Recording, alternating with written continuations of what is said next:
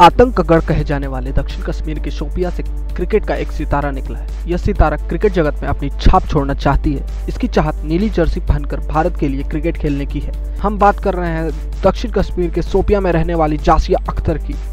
Allrounder Jasia Akhtar Punjab की ओर से घरेलू क्रिकेट खेलती आ रही उनका चयन वुमेन प्रीमियर लीग में हो गया है। इंडियन प्रीमियर लीग में जगह मिलने पर जासिया ने अपनी खुशी ज़ाहिर की। लेकिन उनका कहना है कि सपना तब पूरा होगा जब वो नीली सी पहनकर देश के लिए खेलेंगी। मिताली राज को अपनी प्रेरणा मारने वाली जासिया का कहना है कि उसे चयनकर्ताओं की ओर से फ़ोन आया था जिन्होंने उसे 2 मई को रिपोर्ट करने के लिए कहा है। वुमेन इंडियन प्रीमियर लीग 6 मई को सवाई मानसिंह स्टेडियम जयपुर में शुरू हो।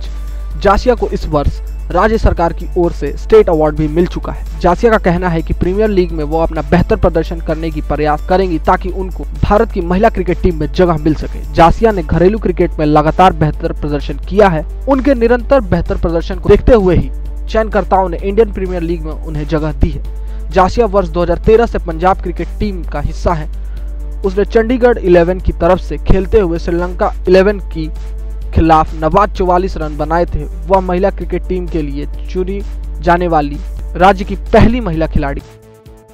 नेक्स्ट नाइन स्पोर्ट्स से कुमार अभिनव की रिपोर्ट।